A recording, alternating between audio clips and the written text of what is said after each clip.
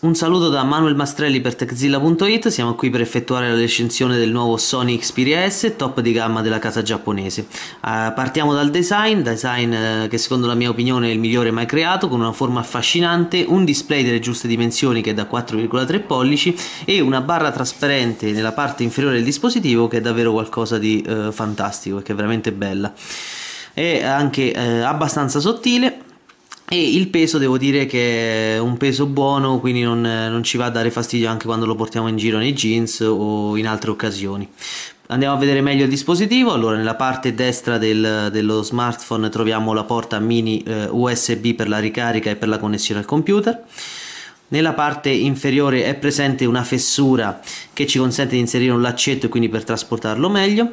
Nella parte sinistra del dispositivo troviamo il tasto rapido della fotocamera, i tasti del volume e la porta mini HDMI, eccola qua, per la connessione quindi con fonti video.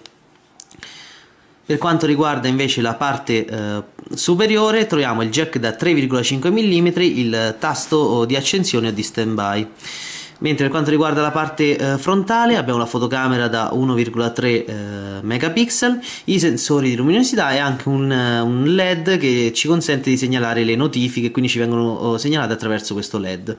Nella parte inferiore abbiamo oh, i tasti eh, touch tipici di Android, quindi posizionati proprio sopra le relative icone eh, che si trovano nella barra trasparente. E per quanto riguarda invece la parte posteriore abbiamo la fotocamera da 12 megapixel con LED flash nella parte inferiore il marchio di Sony. Una cosa uh, particolare è che la, uh, la batteria non è rimovibile quindi noi possiamo aprire il dispositivo ma la batteria come potete vedere non è rimovibile ma si può solo inserire la mini sim. Quindi anche in questo caso c'è mini sim non, non si utilizzeranno più le sim normali quindi ci chiediamo oh, perché comunque fare uno sportello del genere con uh, apertura se poi cioè, serve solo per inserire la sim, bastava fare uno sportellino per la sim e eh, si risolveva tutto senza uh, mettere a disposizione quindi l'apertura del dispositivo. Passiamo ora alla parte software, uh, il Sony Xperia S uh, monta Android 2.3.7, questa è una cosa che ci ha fatto un po' storcere il naso perché non capiamo come un dispositivo top di gamma comunque eh, nel 2012 possa, possa, uscire ancora con Gingerbread quando ormai Ice Cream Sandwich è disponibile uh, a tutti da diversi mesi. Comunque anche le altre compagnie stanno avendo notevoli difficoltà nell'aggiornare i propri dispositivi. Quindi piccola nota di demerito per quanto riguarda il software Ice Cream Sandwich. Questo è la, il software installato di base, come potete vedere. Niente di particolare. Eh, funzioni particolari di via software sono quelle della fotocamera. Infatti abbiamo una fotocamera da ben 12 megapixel che registra anche a 1080p.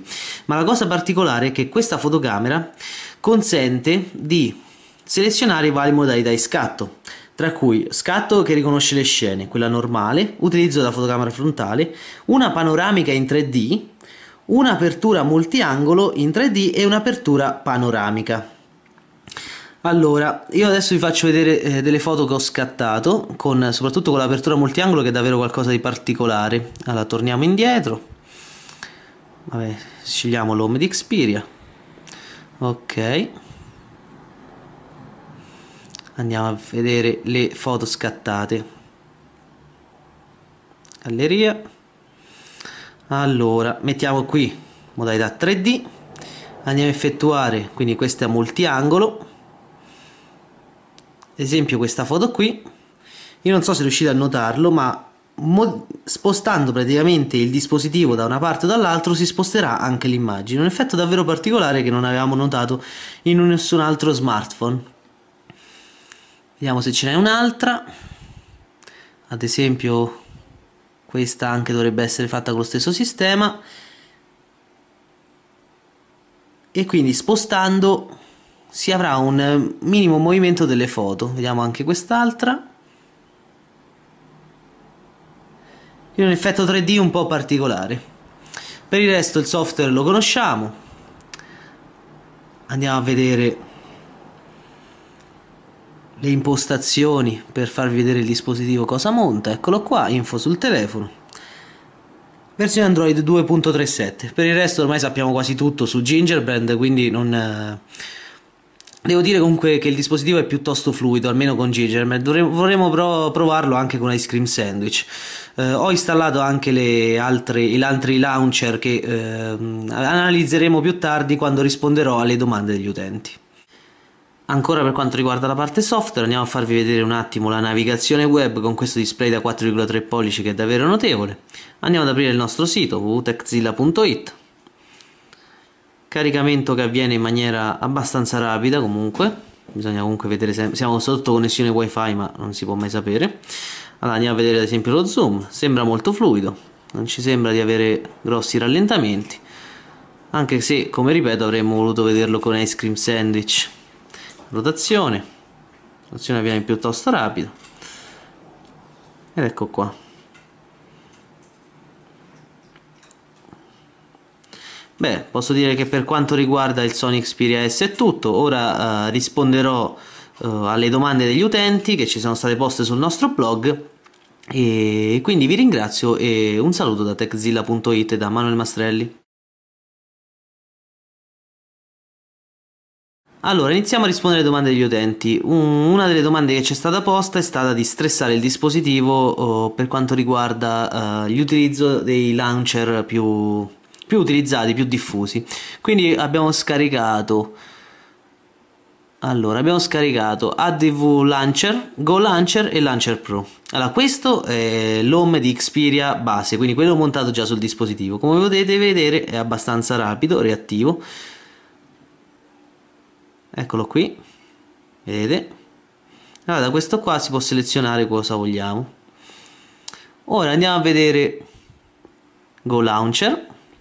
Ecco Go Launcher. Ho impostato i, eh, comunque i come si dice? I, gli effetti casuali quindi come vedete ha sempre effetti diversi.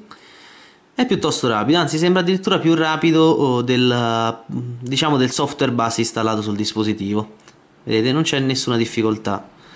Eccolo molto più rapido secondo me è anche molto più rapido rispetto a quello base. Andiamo a vedere poi il ADV Launcher eccolo qua.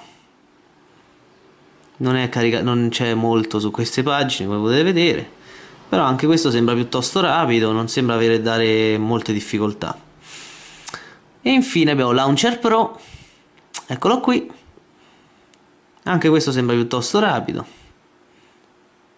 sia nell'apertura negli spostamenti e tutto quindi possiamo dire che tutti i launcher più diffusi sono comunque quelli eh, che girano meglio rispetto anche a quello base che è installato sul dispositivo. Le domande che ci sono state poste invece sull'hardware riguardano innanzitutto il processore. Il processore è uno, strap, è uno Snapdragon S3, quindi con un processore da 1,5 GHz dual core.